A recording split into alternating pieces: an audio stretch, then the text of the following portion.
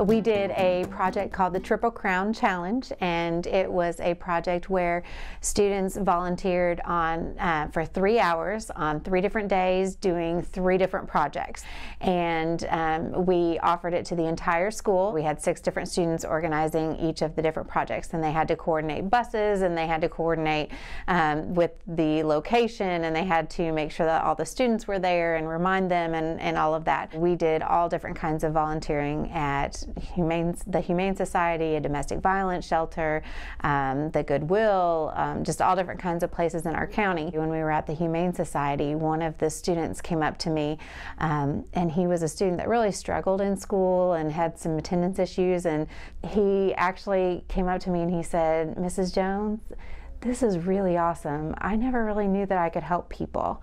And so he actually came to all of the rest of the events that we had and um, brought friends and, and was one of the most excited kids to be able to do it because he finally learned that, you know, he can make a difference and he can make a big impact. I have a student, her name is Jamie, and um, she was a little quieter um, and she decided that she wanted to do a can drive.